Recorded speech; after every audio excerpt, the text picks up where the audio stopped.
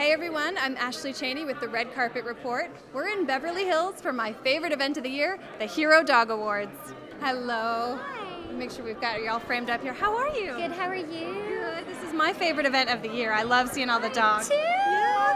I prefer dogs to people. You know, I, I feel like the vibe on the carpet is just everybody's calmer, everybody's Yeah. happier when you get to pet a pup. It makes you like, gives you peace. And that's what my dog does for me anyway. Yeah. Tell me about your dog. Her name's Thunder Pup. I named her after the um, NBA basketball team because I am an Oklahoman.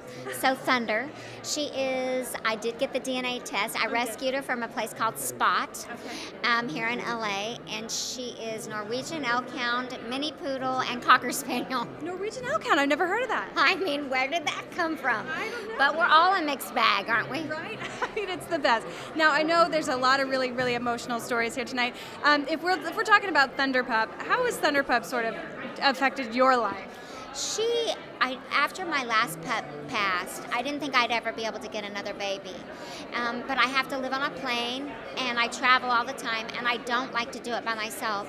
And I need that companion. So I went and I said, I'm going to rescue a dog, but I, I needed to feel when, when the right time was. So after four months, after Madeline, my dog Madeline Kahn passed away, she literally came to me in a dream and was like, girl, you need to get a new dog. So I kept driving by Spot. Yeah. And I went in and I said, I want a dog and I need a, I need a baby because I need to train it to be on a plane. Yeah. It's very important uh, to, to be a support dog that you need to be able to train it.